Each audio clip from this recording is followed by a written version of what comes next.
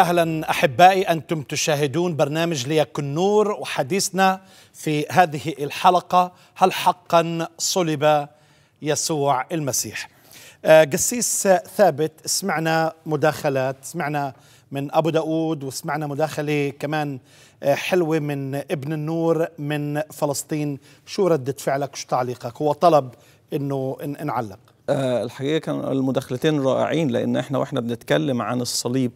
فهو الصليب هو إكمال عمل الفداء أو هو تتميم عمل الفداء. عشان كده المسيح على الصليب قال قد أكمل أي ما وعد به الله في العهد القديم لآدم بالفداء أو المبادرة اللي حضرتك اتكلمت عنها من خلال إن هو ألبسهم أقمصة من جلد. تم هذا العمل بالوع... الإشارة في الأقمصة من جلد مع الوعد نسل المرأة يسحق رأس الحية.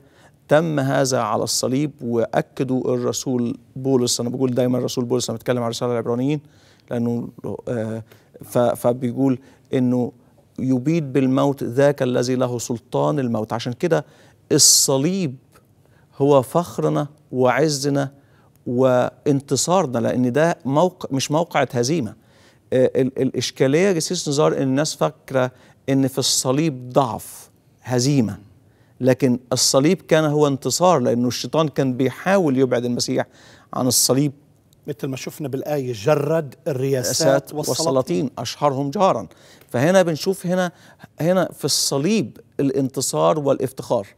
طبعا عند الهالكين جهالة وهنا لأنهم يجهلون معنى الصليب يجهلون فكر الصليب. وبيتكلم لليونانيين وال واليهود. بالنسبة لليهود عثرة. عثرة. إزاي؟ كيف؟ يعني واحد يعلق على خشبة ملعون. من علق على من خشبة. علق على خشبة. ولليونانيين جهالة ان هو ما بيدخل ما بيطلعش عليه غير المجرم لأنه أداة للعقاب. أو ابن الله. الآلهة آه آه. لا تموت. لا يعني. تموت وغير كده ده مكان ده ده أداة الاعدام للمجرمين. فهنا بنشوف ال ال ال لينا إحنا قوة الله في الخلاص. فهنا بنشوف وإحنا بنتكلم بنشوف الحاجتين سواء مداخلة ابن النور أو أبو داود الاتنين بيتكلموا عن الصليب. ليه حرب الصليب؟ لأن الشيطان مش عايز الناس تخلص.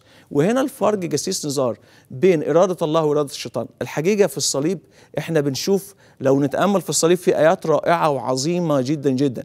يعني إرادة الله هو الخلاص من خلال الصليب. إرادة الشيطان هو أن يأتي ليسرق ويذبح ويهلك. وبنشوف ده ماشي النهارده في التطبيق العملي لأتباع المصلوب لأتباع المسيح لأولاد المسيح. إن هم أولاد المسيح عايزين الناس تخلص لأن أنا إذا كنت ابن لأبويا السماوي إرادة أبويا السماوي أن الجميع يخلصون وإلى معرفة الحق يقبلون. عم بيغفروا عم بيسامحوا. آه.